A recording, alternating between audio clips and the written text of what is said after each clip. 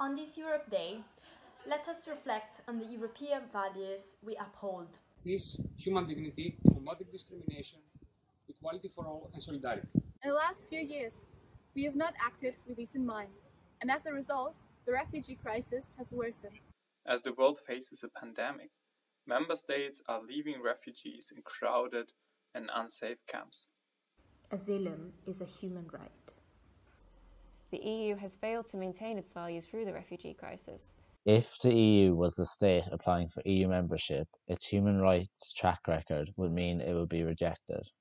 We need to act now to save lives and to save Europe.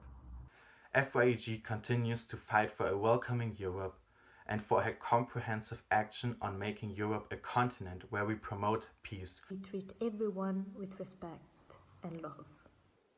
For this to become reality, we need legal, safe passage to Europe and an end to border violence by police. We believe in a Europe with no borders. We want to end discrimination and we urge everyone across Europe to stand up for refugee rights. Let us be together in solidarity and united in diversity. No one is illegal. No.